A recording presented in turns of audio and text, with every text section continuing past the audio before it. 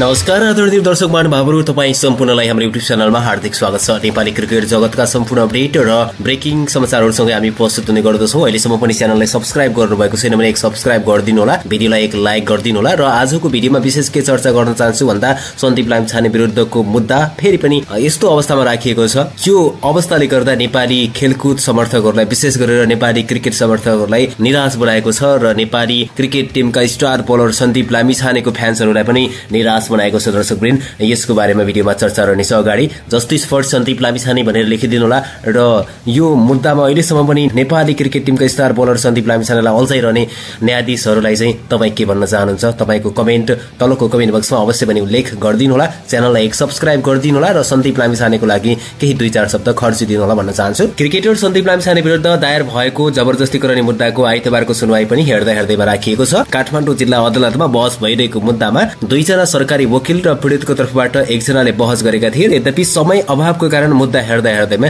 आज पनि राखिएको छ दर्शक महानुभाव यो नेपाली क्रिकेट समर्थकहरूको लागि निकै नै ठूलो दुःखद खबर रहेको छ। त्यसो त सन्दीप लामी छानेको फ्यान्सहरूको लागि पनि दुःखद र निराशाजनक खबर रहेको छ।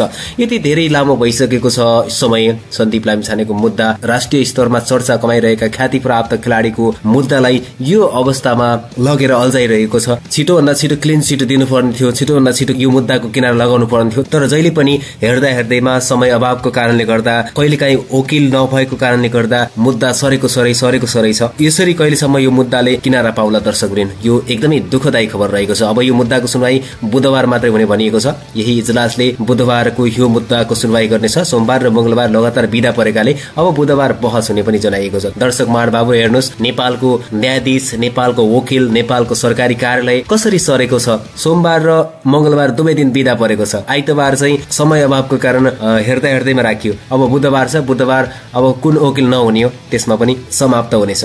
यस्तै यस्तै भएर सन्दीप लामी छानेको मुद्दा अगाडि बढिरहेको छ। आजको मुद्दाको पेशी न्यायाधीश शिशिर राज ढकालको इजलासमा परेको थियो। सर्वोच्च अदालतले गत पन्ध्र फागुनमा नै चाँडो फैसला गर्न आदेश दिएको थियो तर अहिलेसम्म फैसला हुन सकेको छैन। नाबालिग जबरजस्ती करोडीको कसुरमा काठमाडौँ जिल्ला अदालतमा दुई हजार उनासी साल कार्तिक चौधमा लामी छाने विरुद्ध मुद्दा दायर भएको थियो। दर्शक यो दुःखदायी खबर रहेको छ। सन्दीप लामी छानेको मुद्दा आज पनि धेरै समर्थकहरूले उम्मेद लगाइरहेका थिए कि आज सन्दीप लामी छानेको मुद्दाले चाहिँ क्लिन चिट पाउनेछ किनारा लाग्नेछ आज मुद्दा फैसला हुनेछ। जे होस् जस्तो भए पनि फैसला छिटो भयो भने सन्दीप लामी छानेका फ्यान्सहरूलाई पनि र सन्दीप लामी छाने लगायत नेपाली समर्थकहरू र नेपाली क्रिकेट प्रेमीहरूको लागि चाहिँ एउटा सुखद खबर आओस् भन्ने चाह थियो। तर त्यसो हुन सकेन। यो एकदमै दुःखदायी पनि छ दर्शकबिन नेपाली क्रिकेट टिमका star bowler Sandeep Lamichhane यता मुद्दा चलिरहेको छ यता पेशी तोकिएको छ उता भने आफू पर्सा एघार एघारबाट बिरगन्जमा प्रो क्लब च्याम्पियनसिप उनी खेलिरहेका छन् जुन प्रतियोगिता बिरगन्जमा भइरहेको छ।